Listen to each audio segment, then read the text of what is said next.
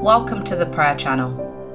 Oh Lord, how we desire to be wise in your eyes. Lord, how we desire to have your knowledge, Lord, and to use the knowledge that you've given us, Lord, so that we can be salt and light in the earth. Lord, we desire you to help us today as we read through Proverbs 26, which is entitled Honour is Not Fitting for a Fool.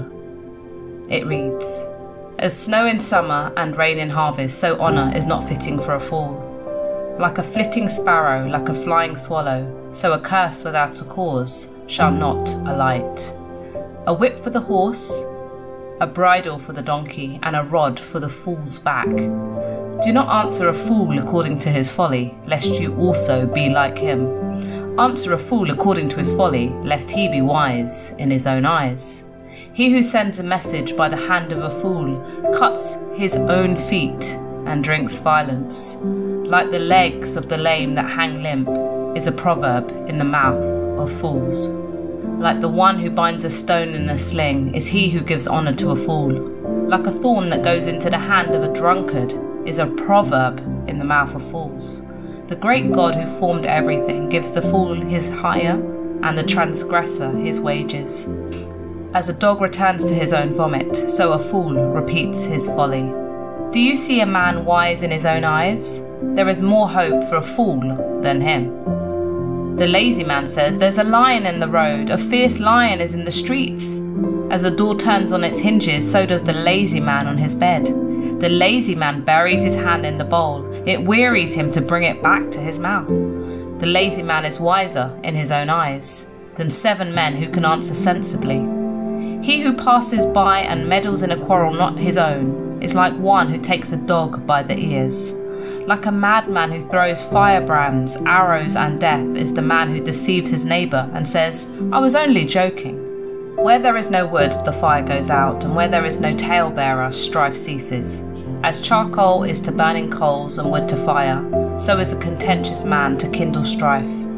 The words of a talebearer are like tasty trifles, and they go down into the innermost body. Fervent lips with a wicked heart are like earthenware covered with silver dross.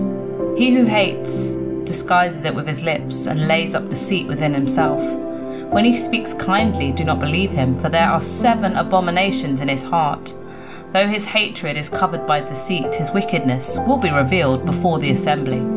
Whoever digs a pit will fall into it, and he who rolls a stone will have it roll back on him. A lying tongue hates those who are crushed by it, and a flattering mouth works ruin.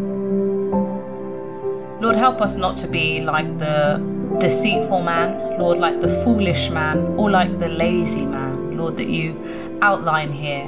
Lord, would we not be found like any of these described here, but instead, would we exercise the wisdom that we learn here to ensure that we do not repeat these mistakes? Lord, you said that a fool, Lord, is wise in his own eyes. Lord, would we not be wise in our own eyes? Would we be looking for the wisdom that you have, Lord, and attempting to be wise in your eyes, Lord? Lord, it's easy for us to desire to take shortcuts, but as we learn here, Lord, these shortcuts don't work.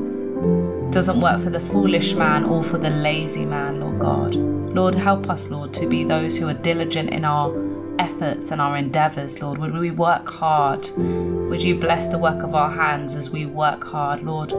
Would we be those who are open to hearing and open to correction, Lord? So, Lord, that we're not seeking wisdom from the world, but instead from you.